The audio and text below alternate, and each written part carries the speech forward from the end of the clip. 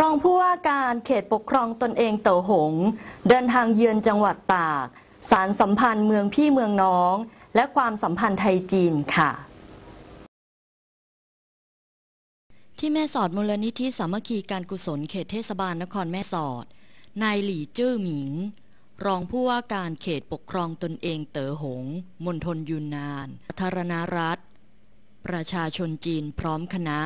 ได้เดินทางเยือนจังหวัดตาก โดยมีนายสมชัยกิจเจริญรุ่งโรธ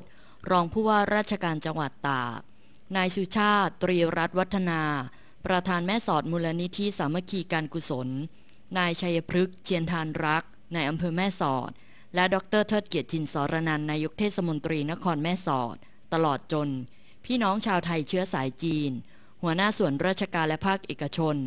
ร่วมให้การต้อนรับ ทั้งนี้สำหรับการเดินทางเยือนในครั้งนี้ เพื่อเป็นการกระชับความสัมพันธไมตรีของเมืองเต๋อหง และจังหวัดตาก เนื่องจากจังหวัดตากและเขตปกครองตนเองเต๋อหงมณฑลยูนนาน ได้ลงนามสถาปนาความสัมพันธ์เมืองพี่เมืองน้อง ร่วมกันตั้งแต่ปี 2009 เพื่อสารสัมพันธ์ทางการทูตที่มีมาอย่างยาวนาน ระหว่างไทยและจีนให้แน่นแฟ้นมากยิ่งขึ้น อีกทั้งจังหวัดตากมีที่ตั้งอยู่ในเขตภาคเหนือตอนล่างของไทย มีพื้นที่ใหญ่เป็นอันดับสี่ของประเทศ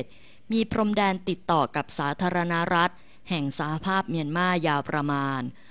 542 กิโลเมตร นอกจากนี้ยังเป็นจังหวัดที่อยู่ในแนวเส้นทางระเบียงเศรษฐกิจแนวตะวันออก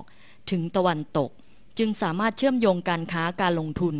การคมนาคมขนส่ง และการท่องเที่ยว ไปยังสาธารณรัฐ แห่งสหภาพเมียนมาประเทศอินเดีย ประเทศกลุ่มตะวันออกกลางและภูมิภาคต่างๆ ได้มากมาย จึงส่งผลให้ได้รับการประกาศเป็นเขตพัฒนาเศรษฐกิจพิเศษระยะแรกของประเทศ และเป็นการดีหากจังหวัดตากและเขตปกครองตนเองเต๋อหง